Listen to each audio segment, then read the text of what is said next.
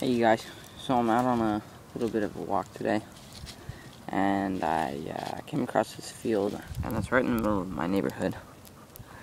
Um, it's back behind some houses but it's also, it's just at the end of the cul-de-sac. It's a pretty cool spot. There was uh, some birds in it earlier. I think they might still be there. You can hear Dove calling. He's right up over there on the telephone pole. Um, there were some pigeons. I've seen doves in here before and pigeons. So this, uh, I guess, if you want to talk about SHTF for a second, this would be a pretty good spot to harvest food. Um, also with an adequate supply of water, which there's a creek that runs about way crow flies 200 yards away from where I'm at right now. So, uh, and it runs year long. And uh, I'm about 300 yards away from where I am. There's a little pond spot that has, you know, probably 600 to 1,000 gallons of water in it. Um, but what I wanted to, uh, so, excuse me, so, uh, so what I was saying is this could be used up above here. I'm just sitting on the other edge of this hill, but it plateaus up, up top of there, and you could use it for planting and stuff if you had a good community to work with. But um, other than that, this is uh, what I wanted to show you. These sticks are all in here. I don't know the name of this plant, but it has a lot of pith on the inside. I'll show you right here. This was one of the branches I broke off that. That's all pith. There's bark on this, and then there's pith. There's not really anything else. Um, and it breaks just easier than anything, you know. It's so I I figure um, if you use a straighter piece like this, you can make a fairly good uh, drill for a bow drill because it's a light wood. I mean, it, it's it's strong pressure-wise, not not if you're going like that with it. But what I want to show you today, so I'm kind of gonna tap it for a really good resource um, that could help um, making a fire.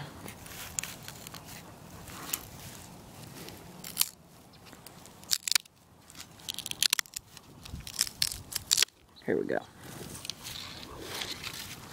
Just about. It's the RKT Pazoda. This thing is great. Um, I got this for Christmas from a family member. And it came with the spork, and the spork's okay, but the CRKT Pazoda, damn, this thing is great. Um, so that's it. That's all the pith. Um, that's what we want to tap and get into just cut a piece out here. Sorry, my camera skills are kind of sucking. My camera's wandering a little bit, kind of shaky because I'm doing this offhand. But anyway, just cut that out. Nice little piece. But the thing about this, and I'm in kind of a, excuse me for a second, switch, switch my stuff out. This is a little miniature Bic uh, where this comes in great. get this set up here. I don't know if you can see this, but here's the pith. Here's a mini Bic. It doesn't burn super well, but what it does do is smolder really well. There's a nice ember. So if I wanted to take this smoke nice, put it right here into that tinder bundle. This isn't a proper tinder bundle, but and this it rained this morning, so this stuff's a little bit wet. But basically, you can see it smoking down there. Put it in a proper tinder bundle. This is just litter grass I just picked up, but you could blow it into something. This one I'm not going to try to blow because I'll try a little bit, but I'm in a pretty, I'd call a flammable field right here. It's just all this grass. So, separate that ember out here put some dirt on top of it.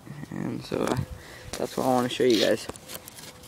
So if you're, if you're in a situation where you need to spark something, maybe you don't have a lighter on you, even if you do have a lighter but you're having a hard time finding good uh, tinder, this is some good stuff to use.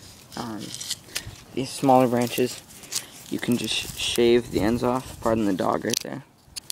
Um, you can just shave the ends off and there it is, right, right down in there. That's all the pith. And these also work really well for burning. So, uh, thanks you guys.